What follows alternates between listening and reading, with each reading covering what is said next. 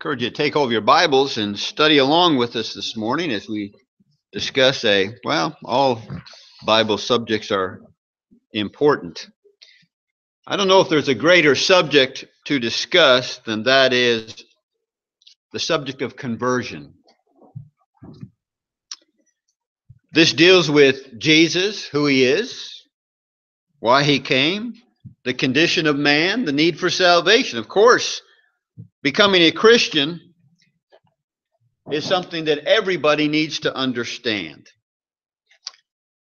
Jesus gave the commission over in Mark chapter 16 and verse 15 go into all the world and preach the gospel to every creature. He that believeth and is baptized shall be saved, he that believeth not shall be condemned. However, I hear so many people utter to me all the time so and so is a good Christian person.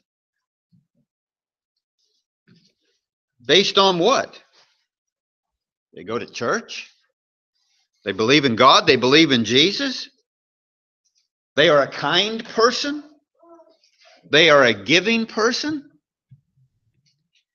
It's a term that is used rather loosely, the concept Christian. Folks, possessing some characteristics of a Christian doesn't make you a Christian.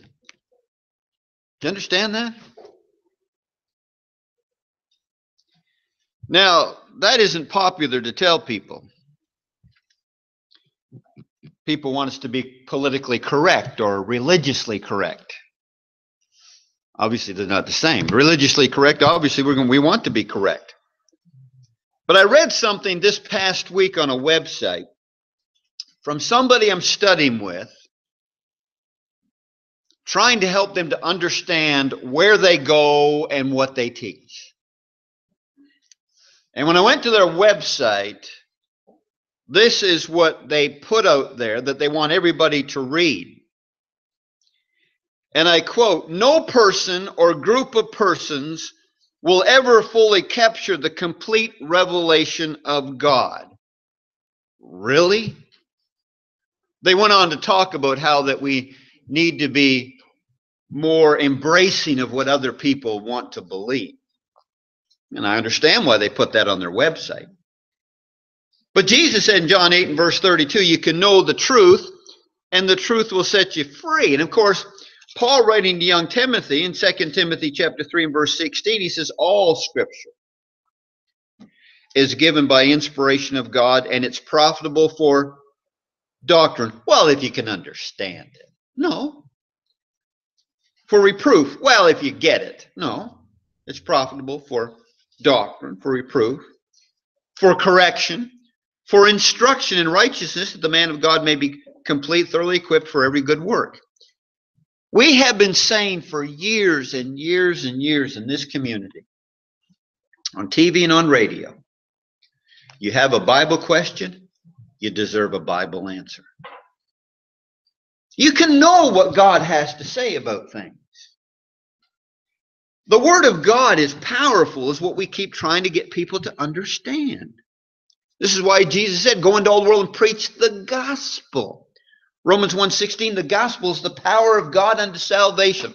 I've seen it, you've witnessed it, not only in your own lives, but in the lives of others. I just we just preach the word, and people are being pricked by it just this week.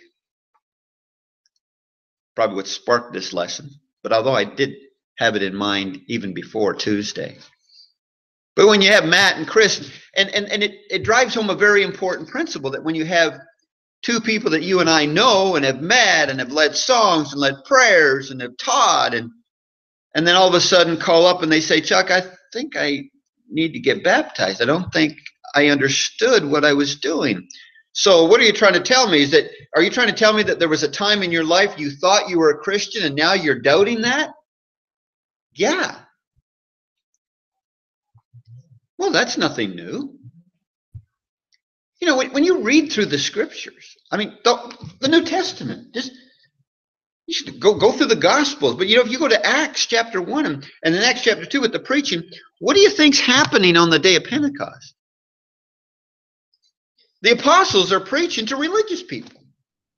They are people who think they're going to heaven. Do you understand that? Now, 3,000 people obeyed the gospel on that day. What are you going to say to those 3,000 people? Now, wait a second.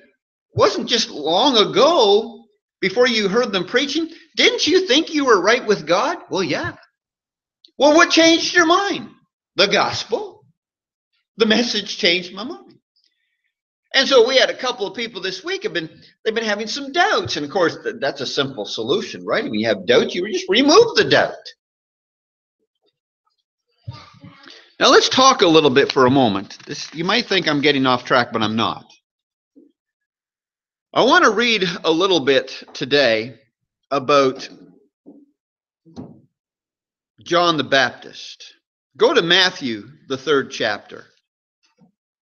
Because we know in John chapter 1, I'm just going to make references. Keep going to go to Matthew chapter 3. In John chapter 1, it tells us that John was commanded divinely, God told him to baptize people in water. Okay? That was what he was called to do. John didn't invent it. Um, it's not his doctrine, it, it was divine in its source. In Matthew, the third chapter, look at verse 1. It says, In those days, John the Baptist came preaching in the wilderness of Judea and saying, Repent, for the kingdom of heaven is at hand. Did you pick up on that? Jesus did the same thing. You can go over to the, the, the fourth chapter, verse 17. Jesus preaching about um, about the kingdom. Let me just go over there, the 17th. Uh, chapter 4 and verse 17. From that time, Jesus began to preach to preach and to say, Repent, for the kingdom of heaven is at hand. Okay. Back to Matthew chapter 3 and in verse 2, or verse 3, it says, For this is he who has spoken by the prophet Isaiah, saying, The voice of one crying in the wilderness, Prepare the way of the Lord, make his path straight. Talking about John. Look at verse 4. John himself was clothed in camel's hair and a leather belt around his waist, and his food was locusts and wild honey. Then Jerusalem, all Judea, and the regions uh, around the Jordan went out to him and were baptized by him in the Jordan, confessing their sins. But when he saw many of the Pharisees and the Sadducees coming to his baptism, he said to them, Brood of vipers, who has warned you to flee from the wrath to come? Therefore, bear fruits worthy of repentance, and do not think to say to yourselves, We have Abraham as our father. For I say to you that God is able to raise up children to Abraham from these stones. Let's just stop there. I could spend the rest of the morning talking about this text, but I really hope you can get it. You know, John's baptizing people, and, and the connection was, well, we're preaching about the kingdom. Well, what's so important about the kingdom? That's why Jesus was going to come. That's why he was teaching to pray, Thy kingdom come, Thy will be done. The kingdom is here. Colossians chapter 1, verses 13 and 14. The kingdom, the church, the terms are used synonymously. I'm going to be coming. Uh, the, the kingdom is coming, his spiritual kingdom. We, as Christians, are part of the spiritual kingdom, the church, because I mentioned in Colossians chapter 1, when you become a Christian, the Lord puts you into his kingdom. The kingdom's here, folks. Mark 9 1, Jesus said, Some of you will not taste of death till you see the kingdom come with power. It was going to come in the lifetime of the people that Jesus was talking to at that time. And in Matthew chapter 16, verses 18 and 19, he talked about, I'm going to build my church and you're going to have access to the kingdom. Church, kingdom, same thing. The church are his special people. The, those that are in the kingdom are citizens in the spiritual kingdom. What am I talking about here? Why did I bring this passage up? Well, did you notice that there were people coming out when John was baptizing? And there were other people, these Pharisees and the Sadducees, coming to his baptism, who said to them, Brood of vipers, who warned you to flee from the wrath to come? What are you doing here? What are you doing? What? What? You want to get baptized? Is that really what you want to do? You want to get baptized? Somebody comes forward. What? You want? You want to get baptized? No, I, I don't presume to know the hearts of mankind. But the two people that we baptized this week, there was a point in time where they came forward and they wanted to get baptized. Do you want to get baptized? He said to them in verse 8, Therefore, bear fruits worthy of repentance. Look, if, if you want to do this, you don't go through the motions. You, if, if you want to flee from the wrath to come, you want to get baptized. You're to what? You're going to come confessing your sins. Do you know about the kingdom that's coming? It's all about the kingdom. You know, there's something seriously wrong today when somebody becomes a Christian, and people will tell me this. They'll say, Chuck, can a person become a Christian and belong to a denomination? And I'm thinking, well, that's interesting because what I'm reading here is that if you're going to preach, this one shot, but if you're going to preach about uh, a, a, conversion, if you're going to teach about salvation, like John was doing, and baptizing and confessing their sins, he was preaching them what? He said, well, he, he preached them about the kingdom. The kingdom is near. And so he was teaching them about conversion. And so he was talking about this idea you, you, you need to repent of your sins. And of course, uh, as he mentioned there, you, you're going to need to be baptized. Now, now here's what I wanted you to see. We're not under John's baptism. We know that. Okay? If you'll just pop over quickly to Acts chapter um, Acts chapter 18. Go to Acts chapter 18, if you would. And look at verse 24. It said, Now a certain Jew named Apollos, born at Alexandria, an eloquent man and mighty in the scriptures, came to Ephesus. This man, being instructed in the way of the Lord and being fervent in spirit, he spoke and taught accurately the things of the Lord, though he knew only the baptism of John. So he began to speak boldly in the synagogue, and when Aquila and Priscilla heard him, they took him aside and explained to him the word of God more accurately. Now go to the 19th chapter. Now you see some examples where people were baptized under John. See, Jesus has already died and went back to heaven. You need to be baptized in the name of Jesus Christ for the mission of your sins. In Acts chapter 19 and verse 1, it happened while Apollos was at Corinth that Paul, having passed through the upper regions, came to Ephesus and finding some disciples, he said to them, Did you receive the Holy Spirit when you believed? And they said, We have not so much heard whether there is a Holy Spirit. And then he wondered. He said, Well, into what were you baptized? And they said, Into John's baptism. Paul said, Well, John indeed baptized with the baptism of repentance, saying to the people that they should believe on him who will come after him, that is, on Christ Jesus. And when they heard this, they were baptized in the name of the Lord Jesus. Now, what we just pointed out here is some people. This was after Jesus had died. But I'm wanting you to see the big picture here. When John was baptizing people, he wanted them to repent. There was a connection there, fleeing the wrath to come and preaching about the kingdom. When you and I preach today, you know, obviously we're not under John's baptism, we're under Christ. And so what are we going to do? We're going to preach, we're going to preach Christ, okay, which is important. And we're obviously going to be talking about the church, his kingdom. We'll put that hand in hand. You know, when somebody becomes a Christian, you say, Well, do you know what church you belong to? I haven't even heard whether there is a church. What are you talking about? I could parallel that with with with Paul running into some people and they're talking to, well, have you heard about the Holy Spirit? We haven't even heard. Well, what were you baptized into? Well, under John's baptism. No, no, you need to be baptized under Christ's baptism. So they didn't understand.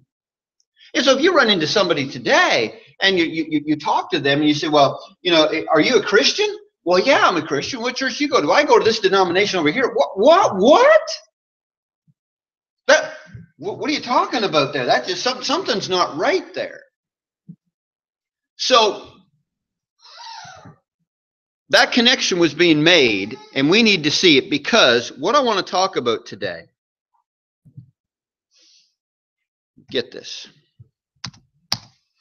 I want to talk to you this morning is that there are lots of people, and don't be, I'm not trying to, I'm not trying to get you guys to question whether you're a Christian or not. If you're a Christian, that's wonderful. I don't want to cast doubt when you've done the right thing. What I want you to do, though, is examine yourself, like Second Corinthians 13 5, whether you are truly a Christian. You say, Well, I don't even want to question that. Wait a second. This past week, we had two people that, that called me up and were baptized right away. Why? Because they have thinking about their past and they've heard me talk about the right combination, but today we're going to be talking about the wrong combinations that are out there so you can make sure. But if you go listen to this lesson today, don't beat yourself up if you say, Man, I thought I was a Christian all this time. I did. At one time, when I was studying with some people, I thought I was a Christian. And I started studying the scriptures. I found that man, I was wrong. I had the wrong combination. I think Trey would just Google this 64,000. 64,000 different combinations to open that lock. Okay. There's 64,000 different combinations. Do you know there are scores of combinations that people are teaching out there for you to become a Christian, but only one is the right one? Really? Yeah. That's why you had 3,000 people on the day of Pentecost that says, whoa, we can stay in Judaism. We thought that was pleasing to God. They found out they were wrong. Apollos preaching the wrong combination. A couple takes him aside in Acts 18. In Acts 19, runs into some people. Hey, we recently obeyed. We're okay. We're fine with the Lord. Uh, no, you're not. We're not. Well, they didn't sit there and go, oh man, he taught us wrong, or it doesn't matter. I mean, does it? Well, we're going to talk about the right combination in a moment. We're going to find out that it does matter. But I just want you to understand that there are scores of people in Bible times that thought that they were right with the Lord and they weren't. So why would you be so surprised to find out if you might be one of those people that think you're right with the Lord when you're really not? Don't be surprised. Chances are for those of you that are right with the Lord actually went through that already. Where there was a time in your life where you thought you were okay, but you obeyed from the heart. Romans 6 17. And so today, as we go through this lesson, I want you to be thinking about the right combination. And were you converted? You know, there's only four. There's not 600, 64,000 combinations. Okay, there's not 64,000 combinations. Four. Now, within these four, there's some variables that people have created that creates even more confusion. We're going to clear it all up, but here it is. There are four combinations that are being taught out there that are trying to tell people you're saved if you do number one, you're saved if you do number two, you're saved even if you do number three. Now, they're not calling it wrong. I'm telling you from a biblical point of view that there are wrongs out there. I'm going to show you from the scriptures. But you do understand, though, folks, conversion is crucial. I don't want any of you. I'm sure, I'm sure you're not wanting the Lord to come back and find out that you're not prepared. We always say, Mark says, you know, if you got any questions, you're going to be our friend. If we're teaching something wrong and you bring it to our attention, why wouldn't I appreciate that? Thank you. Thank you. I don't want to be teaching error. I don't want to miss heaven. I don't want to go through life thinking I'm okay when I'm not. And see, that's what was bothering Matt and uh, Chris this week. They're like thinking, you know what? I've got some doubt in my mind. They didn't have a problem with the right mode. It's the wrong reason. But it might be some of these other things that maybe it's you. I don't know. I don't know. I, I don't presume to know your condition. But I know that the Bible will describe what is the right combination. And I want you to be asking yourself as we go through this lesson 15 minutes left. Not much of not much time out of your life to examine. So let's go through this. First of all, obey that form of doctrine, Romans chapter 6 and verse 17. You've heard me quote that before. A form, it's something that is set. Um, if there's some passages that you missed, don't forget you can go back to your computer and bring up this on our on your computer. Go to our website. This lesson is being taped. But that form of doctrine, remember, there's a common salvation. Jude 3. Common salvation, folks. And if you're saved and I'm saved, then we've done the same thing. If we differ, one of us is wrong or we're both wrong, well, we both can't be right. So, what's the right mode? Well, in Acts chapter 8, there's water. What hinders me from being baptized? In Acts chapter 10, when we looked at Cornelius a few weeks ago, can anybody forbid water that these might be baptized? The word baptize means to immerse, to bury. It doesn't mean, well, We're going to talk about the wrong ones in a moment, okay? So we're, we're going to talk about the rights, the right right now, and then we're going to talk about some of the wrong modes that are taught and some of the wrong reasons. But let me just cover the right, uh, the right mode and and uh, and the right reasons, okay? The passages are down. I'm I'm making reference to them as I go through this. But yeah, in Acts chapter 8, they went down into the water and he baptized him. Well, look, I'll have that list for you in a moment. So, but, but you need to get this. That, that's Romans chapter 6. You need to be buried with Christ. What do you do with a dead body? You bury it. If you take some water, well, again, that's the wrong one. I'm going to stick with the right one. I'm getting ahead of myself. So that's what we see the right mode in water. The right reason. What? for the remission of sins. In the name of the Father, the Son, and the Holy Spirit. To be saved. Did you get that? There's the right reason. I want to become a, a, Christian today. I want my sins washed away by the blood of Christ. We talked about that in our Bible study this morning, Ephesians chapter 1 and verse 7. Redemption is found in Christ, his blood. All right, you need to come in contact with his blood, which is the through the right way. That was Romans chapter 6. You're buried with him. You're baptized into his death. Repent and be baptized. Acts 2 and verse 38. For what? The remission of your sins. Acts 22 and verse 16. Why are you waiting? Arise and be baptized, washing away your sins, calling on the name of the Lord. People get baptized in Jesus Christ, into Jesus Christ for what? To be saved be saved from their sins. They need to be converted. Now, that's, that's pretty simple, isn't it?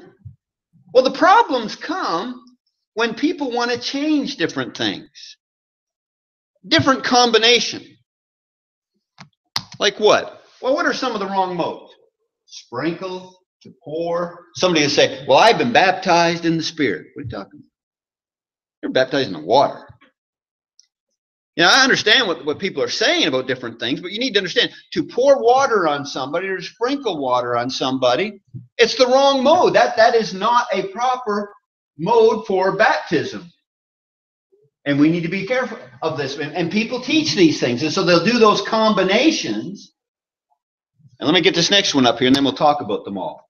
What are some wrong reasons? Well, number one, to show you're already a Christian. I gave my life to the Lord a few years ago, or I gave my life to the Lord last week, and you know, and they had a baptismal service. No. They'll say it's an outward sign of an inward grace. Not in the Bible. It's a nice cliche people came up with. To join a church. I got baptized to join the church. That's what I did here. No, no, you didn't. You hope not. You know, you don't get baptized to join the church. To please family and friends. Or it's a church ordinance for babies. It's about that time. We're going to bring the baby up and they're going to have a christening. That's what you do doing it and hopefully learn why why why later. Uh, some people say, "Well, I was baptized as a baby, but now that I understand it, okay, now everything's covered." Well, no, no, you you need to understand at the time. Now, how do you know that? From Acts chapter 19. They had just been immersed in water for the wrong reason under John's baptism. Why didn't Paul just say, "Well, you were just immersed; it's covered"? Now that you have the understanding, no, you have to have the understanding at that time to participate in a baptismal cer- uh, ceremony. So there's no such thing. You know, this this past week, got two phone calls. Wait, I got to call a bunch of people.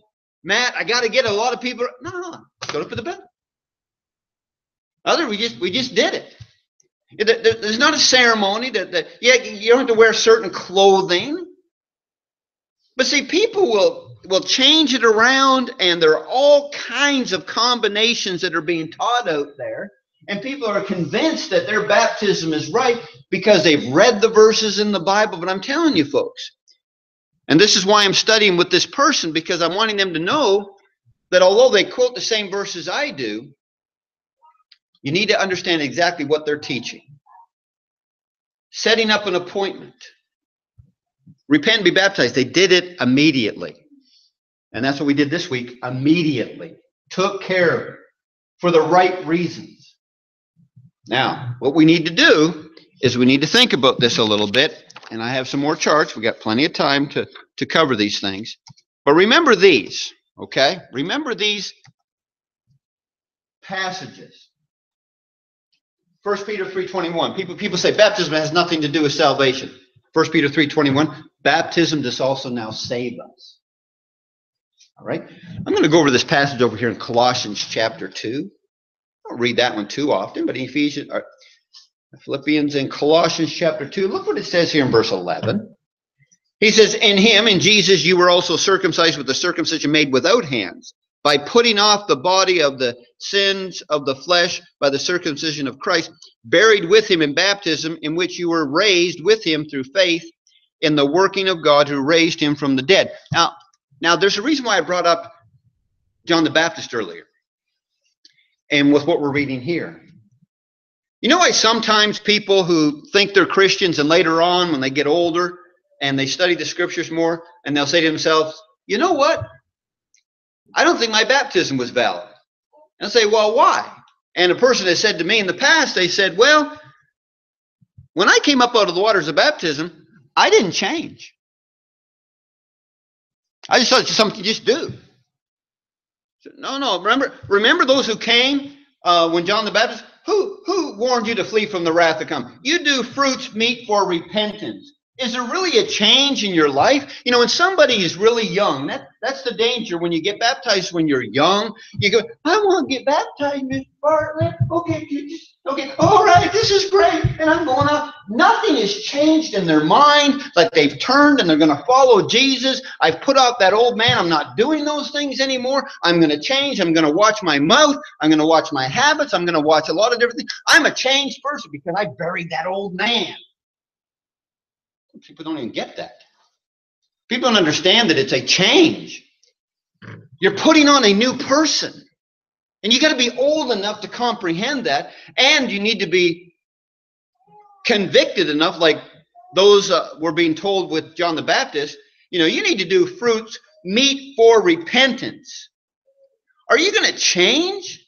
You know, sometimes people go down in the waters of baptism and they have no intention of giving up certain things. Was that you? You might say, well, yeah, but after a few years later, I decided, you know what? I'm going to quit that habit. Well, didn't you have that attitude when you became a Christian? Well, not really. You got the wrong combination, folks.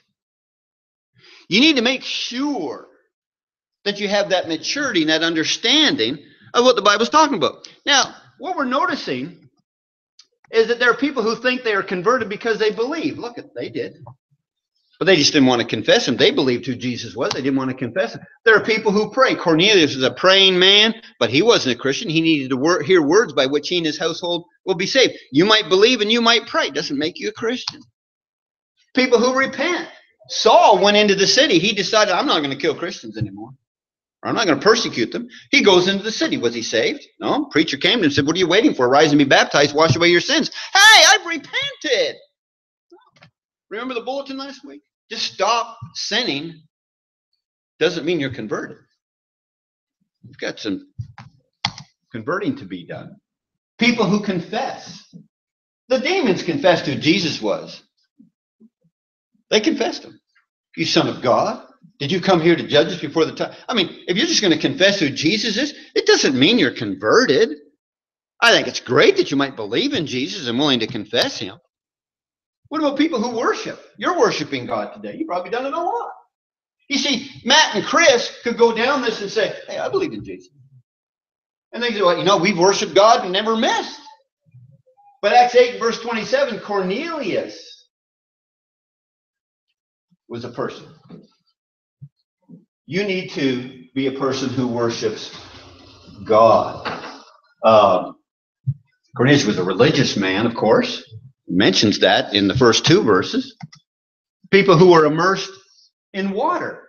I was immersed in water. Man, I used that argument when I was studying with Christians. I thought I was a Christian, and they kept bringing up the plan of salvation. I kept saying, "What?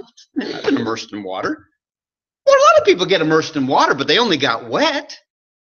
See, Matt and Chris were immersed in water.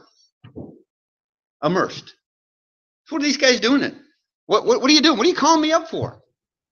Well, because they understand that you can just get wet.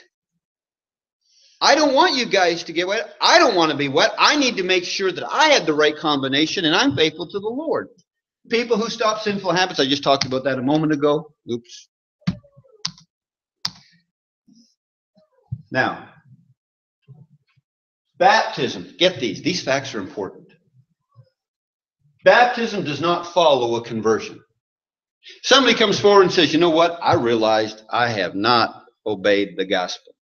Matter of fact, I just thought it was just something that the church taught, and I was right in, I was in denominationalism. Remember this?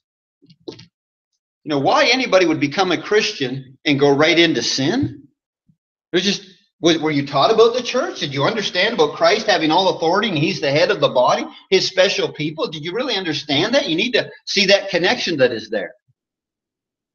Baptism is only valid when one meets the prerequisites. You need to understand that. If a person doesn't believe who Jesus is, remember in Acts chapter 8, the Ethiopian pointed and he said, There's water. What hinders me from being baptized? I'll tell you, there's a lot of things that can hinder people from being baptized. Number one, if you're not willing to put off the old man, that's what we talked about in our Bible study this morning. When Agrippa said, You almost persuade me to become a Christian. Well, Paul's not going to try to get somebody to get under that water if they're not ready to be fully persuaded. You can talk people in it. I've seen it happen.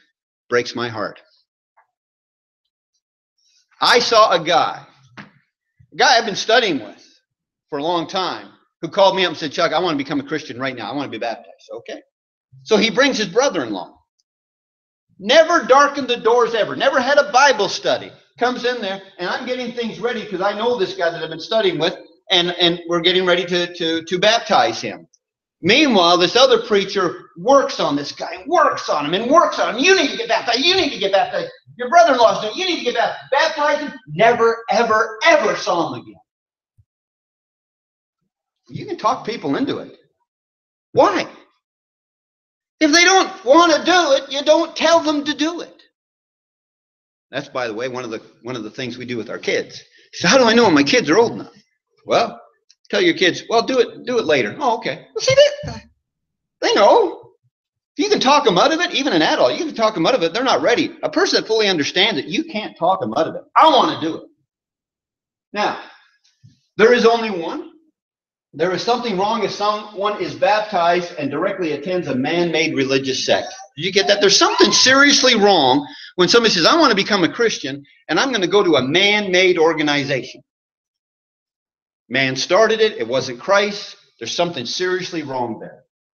And I just talked about that in verse 5. To pressure someone to be baptized without conviction, conviction something is wrong. People who get baptized properly understand the reasons why and do not want to put it off.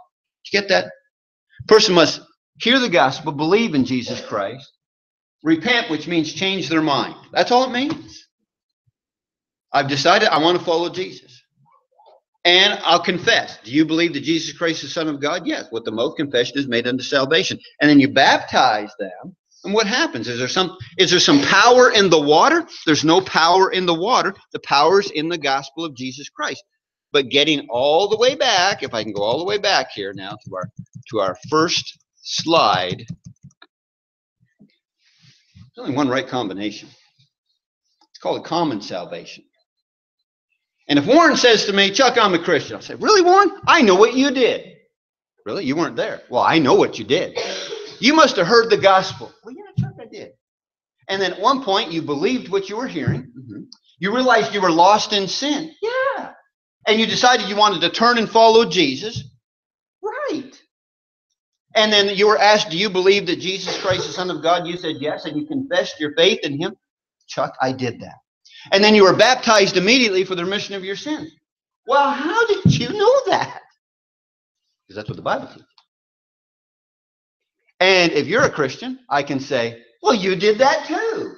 And if you're sitting there going, um, No, it wasn't like that, Chuck. Really? Is there another way? Well, I'd already given my life to the Lord for years, and then I was later baptized. Eh, wrong. Wrong combination. Well, I wanted to show everybody that I was already a Christian. Eh, wrong combination. Well, I did it to join a local church. Eh, wrong combination. I was sprinkled. Wrong. Baptized as a baby. Wrong. You said there's just all these different combinations. There's only one combination that works. And I want to ask you because I don't know. You didn't get, you didn't see me. Did anybody here see, see me get baptized? I was in Canada. None of you did. Before I even met Debbie. Nobody, nobody here has seen. So you say, well, Chuck, how do we know you're a Christian? You don't. Do you? Take my word for it. But this is what I preach, the Bible teaches, and I did what it said. So here's my question to you. It's a question for me too. Did I, did you do it the way the mm-hmm. Bible says? If the answer is no, and you understand what is expected of you, then you can fix that immediately. If the answer is no, but you still have some questions, okay. That means you're not ready yet, but we'll talk about it. And when that when when you do understand, you take care of it. It's as simple as that. Don't make it more complicated. Because here's what the devil wants from you. Take over your psalm book. We're going to be singing number 31 in two seconds. Maybe a little longer. The devil wants you to say, it doesn't matter. The, the devil wants you to think, but you love the Lord. Or the devil's going to say, ah, put it off. You put it off this long. We're talking about your soul. Jesus, what does it profit a man if he gains the whole world and loses his own soul? Your soul is that valuable, more than all the riches of this world. You're not a Christian? My question is, why would you want to be? The answers are many, though. Why? I don't want to. Okay? But for those who want to, all things are ready. And if you don't want to, but yet you say, I'd like to, let's study. Let's talk. There's power in the gospel. It'll prick the heart. I'm convinced of the power of it. But if you're sub the invitation in any way, you've got some questions, a little bit of doubt. And sometimes the doubt you have can be cleared up by saying, you know, one lady said to me time one time, she said, Chuck, I, I think I need to get baptized again. I said, why? She goes, I told you before, in another sermon, she said, Well, all I can remember when I came up out of the waters, I felt wet. I said, Me too. Oh, that's normal? Yes. Okay, you're good. Okay, so your little bit of doubt can be cleared up. You might say something. Just, I thought there was. I thought you were supposed to hear voices from heaven. No, no, no. Okay, but you might have a question that causes a little bit of doubt. Don't leave. Ask it. We'll help clear it up. We'll use our Bible If you're subject in any way, let it be known as we stand together and sing the song that was announced. Almost persuaded now to believe, almost persuaded Christ to receive. Seems now some soul to say, Go, Spirit, go thy way. Some more convenient day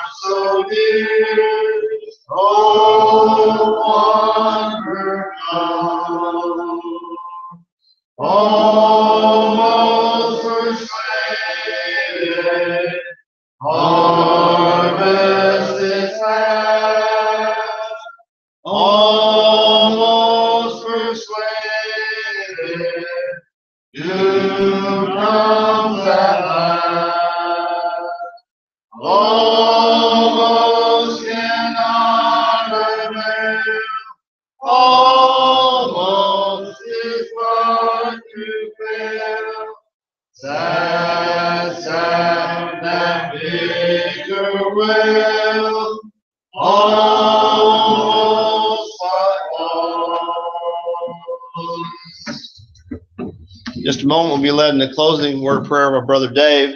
I'd like to thank all of our visitors for coming today and, and listen to the message today. A, a simple message. The gospel's not complicated, but uh, man likes to make it that way, and so we try to study and uh, understand what the, what His will is for us, so we can can make sure that we're following that. So we're thankful that you're here with uh, with uh, your mind on worshiping God, and we're thankful.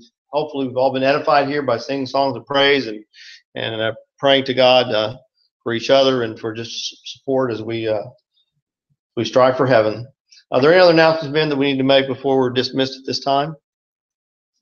Okay, we'll be back again at four o'clock this afternoon, so you have an opportunity to be back with us. Please come. Uh, Dave, will you now lead us in a closing word of prayer?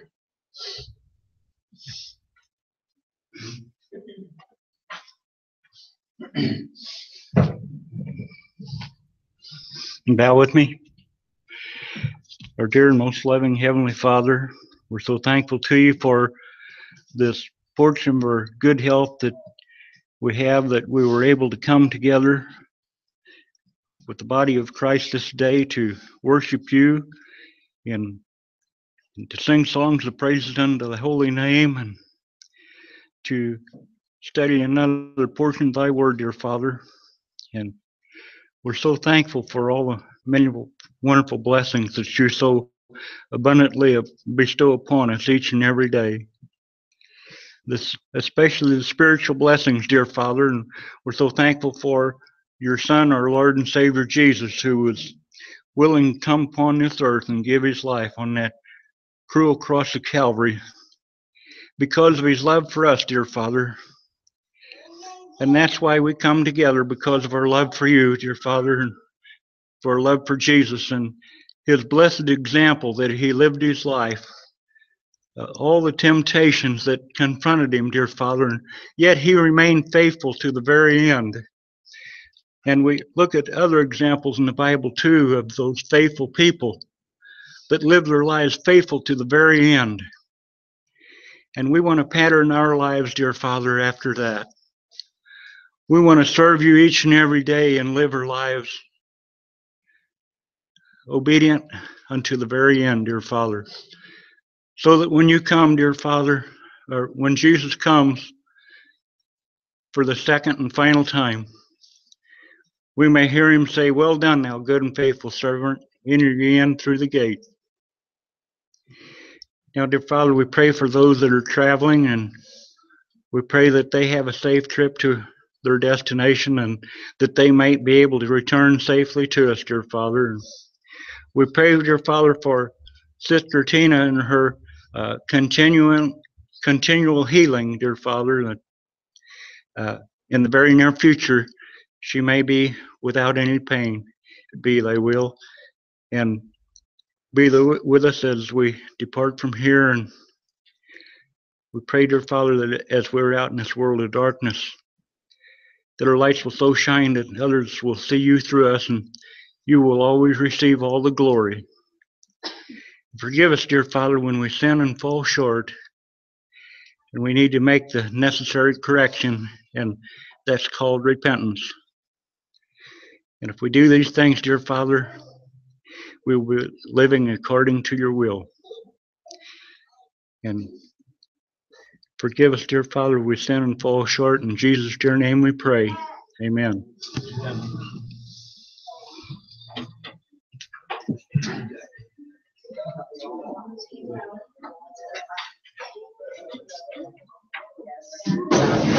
Yeah.